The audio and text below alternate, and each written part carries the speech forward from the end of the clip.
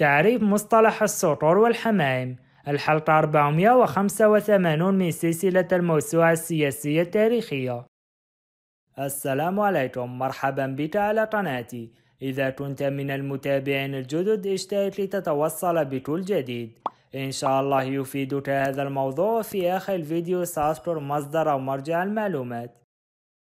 السطور والحمائم تعبير سياسي شاع استعماله أثناء مناقشات الكونغرس الأمريكي للمسألة الفيتنامية عندما انقسم أعضاء الكونغرس إلى قائلين بإمكانية وضرورة حسم الصراع عسكريا لصالح الولايات المتحدة وسموا السطور وهي طيور عدوانية وآخرين قائلين باستحالة ذلك وبالتالي نادوا بحل المسألة سلميا وعن طريق المفاوضات وتقديم بعض التنازلات وسموا الحمائم وهي طيور مسالمة.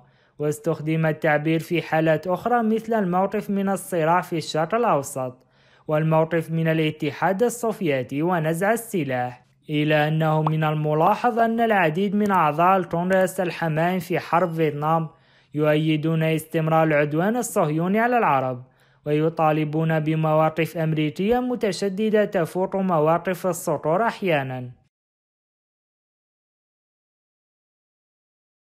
اللهم صل على محمد وعلى آل محمد كما صليت على إبراهيم وعلى آل إبراهيم إنك حميد مجيد.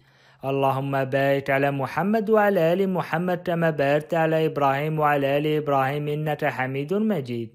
اللهم صل على محمد وعلى آل محمد كما صليت على إبراهيم وعلى آل إبراهيم إنك حميد مجيد.